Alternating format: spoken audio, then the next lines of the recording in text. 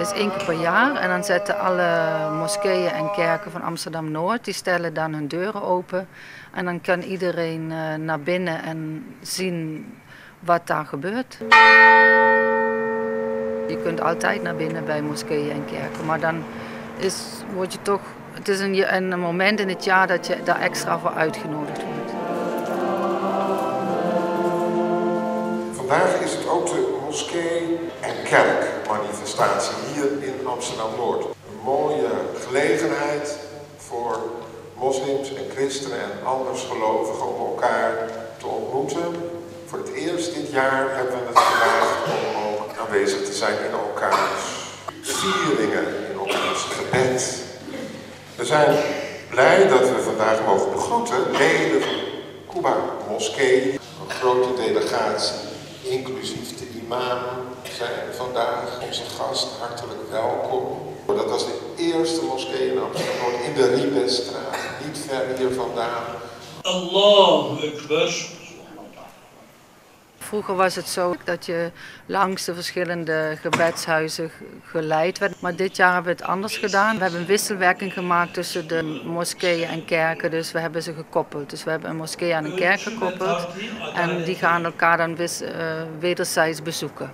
De moskee is voor de, meer voor de religieuze kant.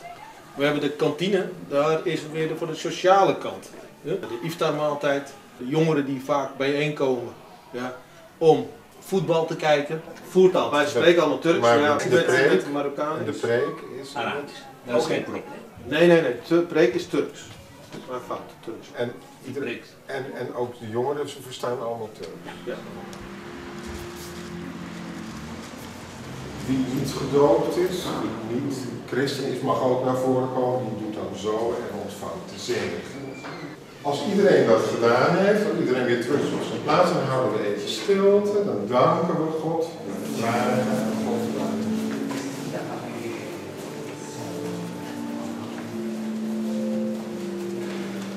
Amsterdam-Noord bestaat uit allemaal eilandjes. Allemaal verschillende culturen die heel weinig contact hebben tussen die eilandjes. En eh, ja, Moskee en Kerk is echt een project die, die bruggen slaat tussen die eilandjes. Wij zijn op dit moment met onze z'n drieën, één van Bismillahirrahmanirrahim. Mijn naam is Ismail. Ik ben de bestuurder van de moskee Abu Hanifa. Eh, wij zijn eh, vandaag uitgenodigd door de kerk, eh, Koptische kerk. Eh, gisteren hadden we een workshop, workshop gehad hoe, hoe dat eigenlijk afspeelt binnen de kerk en hoe gaat de diensten eruit zien. Wat ik doen is, ik wilde eerst kort vertellen over onze geschiedenis en wie wij nou precies zijn en wat we nou precies doen en hoe we hier zijn terechtgekomen. Maar om bij het begin te beginnen, wij zijn de Koptisch-Orthodoxe Kerk en het woord Koptisch is eigenlijk oud-Grieks voor het woord Egyptisch. Zo hebben de Grieken ons vroeger genoemd. En wij zijn in het jaar 43 na Christus gesticht in Egypte, in Alexandrië, door een van de mannen die, eh, die een deel van de Bijbel heeft geschreven. En hij is naar Egypte gegaan en hij heeft het christendom daar gebracht. En zo is het christendom in Egypte eh, begonnen. Een workshop waren ook is echt noodzakelijk. De informatie wat wij hebben gisteren gekregen was echt eh, belangrijk geweest. Want vandaag komen we met een andere sfeer en mijn collega's vroegen over de omstandigheden. Ik heb uitgelegd, nou dit is daarom en dit is de reden daarvan afgegeven. Dus het is belangrijk dat, dat wij ook voor de eh, dienst echt begint, ook de workshop presenteren.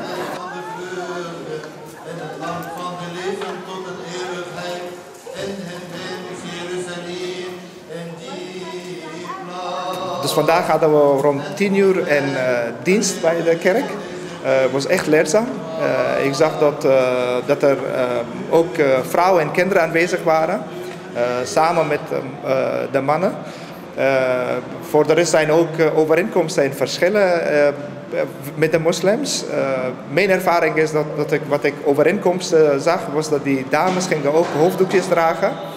Ehm, voor de rest, eh, de Koptische kerk, zover ik heb begrepen, hebben, eh, geloven ook in één God. Eh, de foto's van profeten of heilige personen die daar hangen zijn alleen maar symbolisch bedoeld.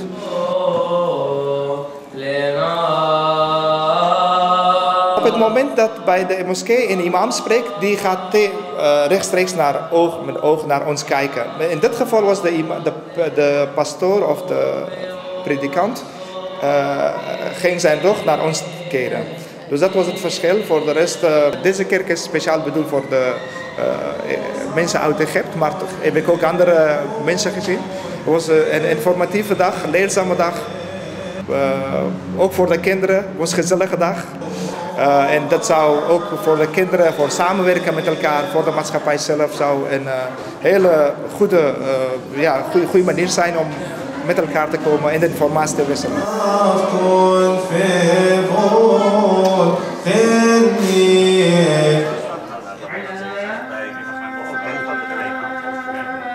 Ik was ook bij Hoop van Noord vanmiddag. Dat is een een multiculturele kerk. En er was een uitwisseling met uh, Emir Sultan. En er waren de mensen van de Emir Sultan waren vanmiddag dus bij, de, bij Hoop van Noord. En uh, ja, het was heel uh, mooi en indrukwekkend ook. Hoe er dan daarna ook met elkaar werd, nagepraat en interesse is voor elkaar.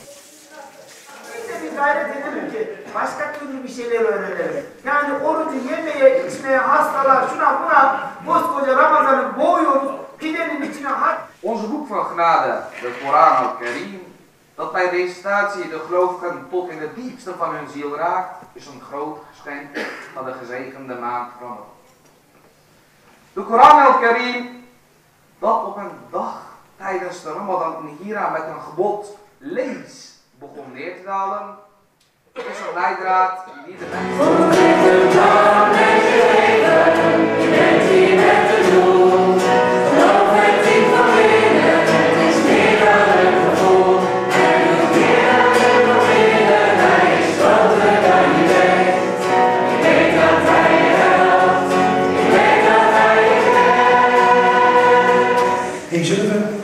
ja, gaan we hier zo voor zitten? We, gaan we met elkaar bidden.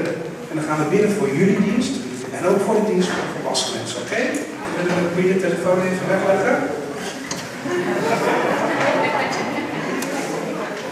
Dankjewel. Vader, we danken u, Heer, dat u, dat u bij ons bent. En dat u in deze dienst ook aanwezig bent met uw. Dank u wel dat we hier zijn. Dit jaar hebben we het ook breder getrokken. Zijn niet alleen kerken, moskeeën, maar ook meditatiecentra. De drie meditatiecentra die meedoen.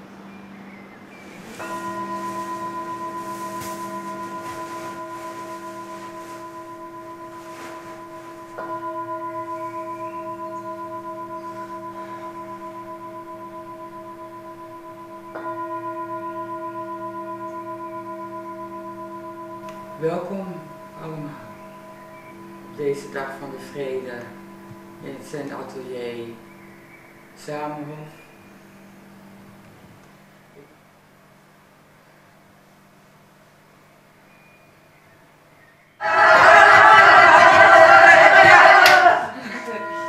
Jio Shansi Sifushi Sombu Samako Samako. Sombusa Sombusa is voor de iftar is er een lezing over uh, vrouwelijke islamitische denkers. Die door Mariska Jansen gegeven. Zij is een uh, filosoof en journalist. Volgens mij is het leuker om ook eens uh, meer de diepte in te gaan. Zodat we het niet altijd over die hoofddoek hebben, maar meer over de spirituele dimensies, dacht ik, van bijvoorbeeld van het geloven. Voordat ik dat ga doen, wil ik jullie eerst een stukje laten zien van een documentaire. Deze documentaire die was uh, een paar weken geleden op de Nederlandse televisie. Ik weet niet of jullie hem gezien ja. hebben. De moskee en kerk is een gelegenheid biedt voor ontmoeting. Dus dat je echt verschillende culturen, andere religies, mensen die anders zijn, kunt ontmoeten. Dat is, dat is de essentie van moskee en kerk. In wezen is het niet echt een religieuze religieus project, maar een, uh, een maatschappelijk project. Mm -hmm. Om mensen te verbinden. Mm -hmm. En in deze tijd is dat heel erg belangrijk. Ik bedoel, mensen hebben erg, vooral naar moslims toe, is er heel weinig begrip van wat, wat, wat zijn dat voor mensen en wat doen die. Nou, dat, die gelegenheid willen we bieden.